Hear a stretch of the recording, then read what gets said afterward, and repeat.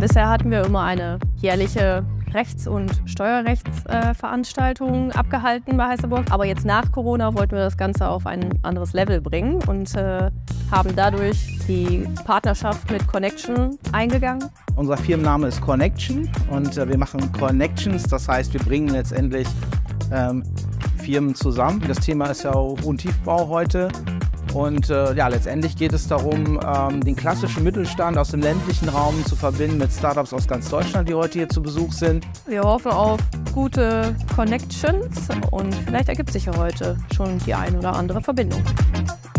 Was ganz toll ist an diesem Event, ähm, dass die Beratungsgesellschaft äh, einlädt ihre Mandanten, die man auch gut kennt und äh, wo man natürlich auch weiß, äh, das ist genau passend. Und man hat natürlich durch den Branchenfokus sofort die gleiche Sprache im Raum. Und das ist schon, äh, das geht gleich eine ganz andere Energie und dadurch, dass es auch so kompakt und ausgewählt ist, hat es, glaube ich, auch nochmal eine entsprechende Besonderheit und Qualität und vielleicht auch Exklusivität für die Mandanten hier von Heisterburg.